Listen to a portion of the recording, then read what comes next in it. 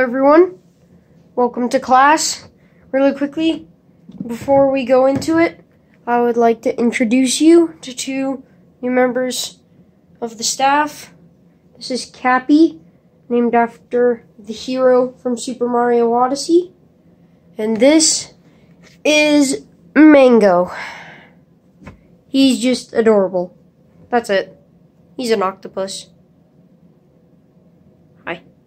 Okay, so today's video is based off of just one second is about stupid things I used to believe about Pokemon.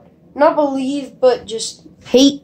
Like one of the things I hated most when I did my first playthrough of Pokemon White 2, because that was the first Pokemon game I ever played, was uh what is the use of the ground type? Like it's just the same as rock type.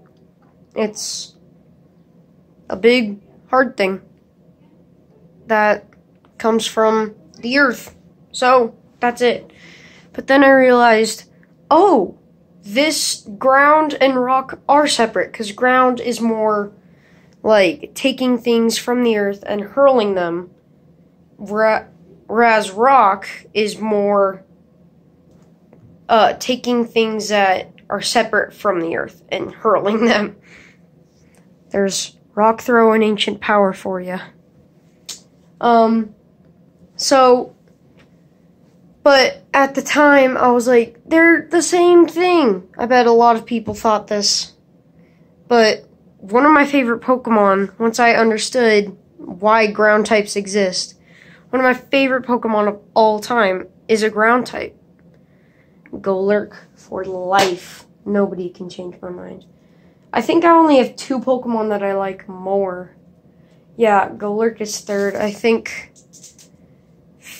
I think second second I think was like I can't remember the team I used for competitive in Pokemon White 2. I know I had my starter all the way through.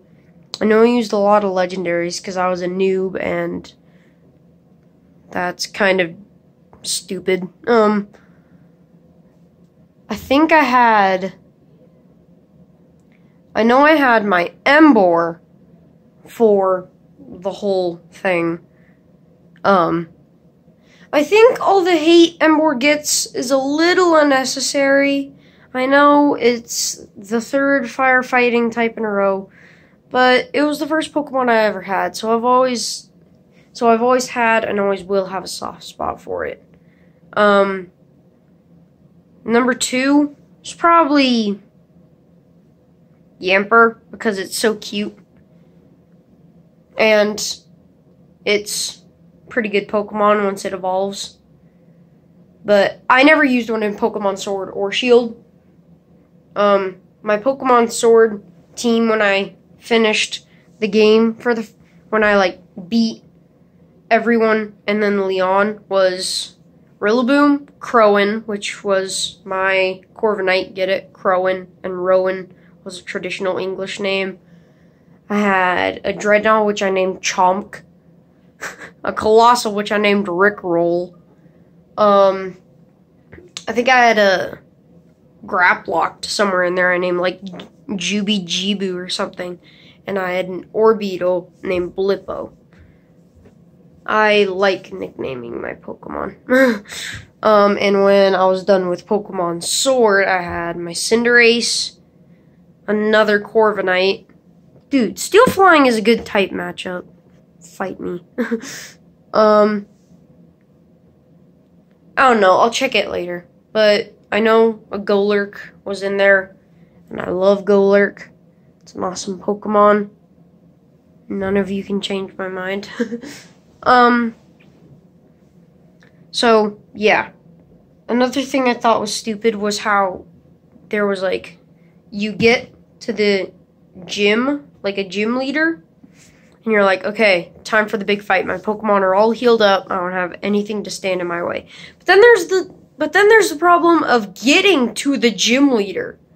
There's like oh this weird puzzle, the gym trainers. There's no time to heal up.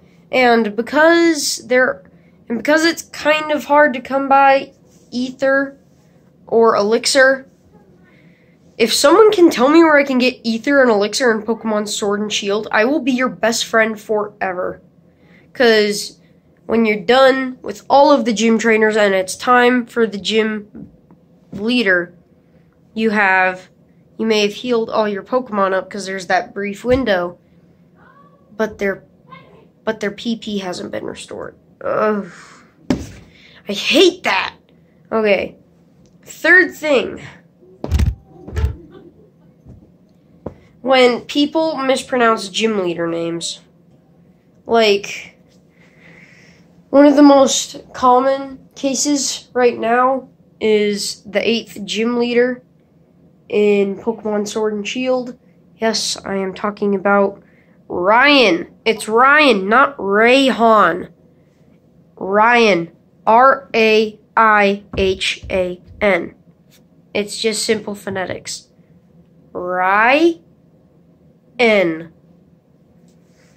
Um, it's just, P- uh, yeah, it's Milo, Nessa, Ka- I can't remember. It's like Kabu or something. I'm sorry. He's like my favorite gym leader. That's a terrible thing for me to do. Allister Bea, not Bay, weirdo. Unless you're her, unless you're her boyfriend. um, Opal, Gordy, Melony, Piers, Raihan, so another thing, uh, this isn't something that bu- used to bug me or does. It's just throwing it out there. There actually is an Elite Four in Pokemon Sword and Shield. People just don't realize it. Bade comes out of nowhere, so he's the first Elite Four member. Then Nessa, then Beer Allister, then Raihan.